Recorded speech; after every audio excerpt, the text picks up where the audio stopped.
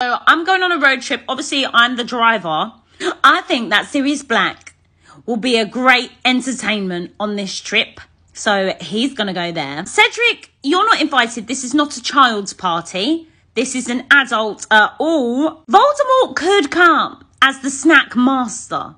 He has control. He's got some power then, so he won't be mad. I feel he can come as the snack master. Okay. Ooh, cultural guides. Yeah, yeah, I'm feeling it. Molly's not coming. She's going to give parent vibes. And this is a party bus.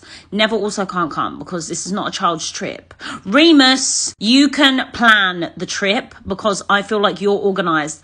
Dumbledore has the playlist on lock because I know he's listening to some bangers. Co-driver, me and Minnie, we're going on a road trip.